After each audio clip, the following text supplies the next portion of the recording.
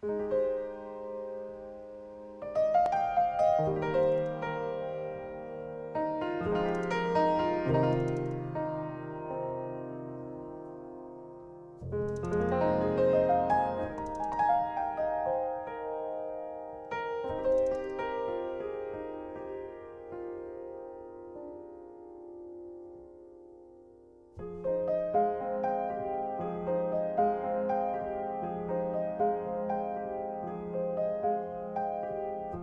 Gweler i fel ymyl yr hod O'n cwmpas campwaith dawi'n hynod Hen linell bell nad yw'n bod Hen derfyn nad yw'n darfod Yng nghanol helbil byd Y sŵn a'r miri sydd cadw pawb yn effro, yn gyrru pawb o'i co.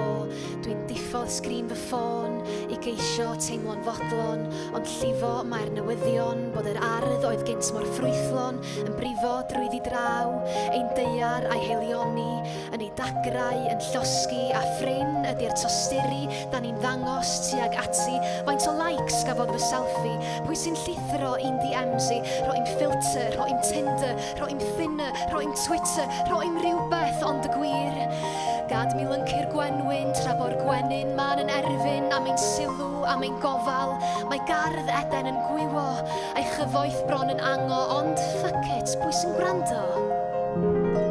Dwi'n whatsappio dew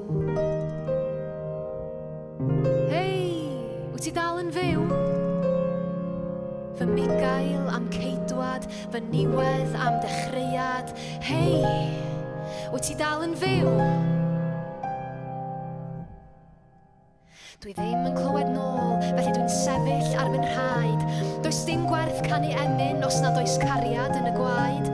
Dileu fy aps i gyd, lawr lwytho bach o ffydd. Mae bris gwerthu dy enaid i'r diafol yn un drud. Dwi ddim yn clywed nôl, dyma sefyll ar fy nhraed.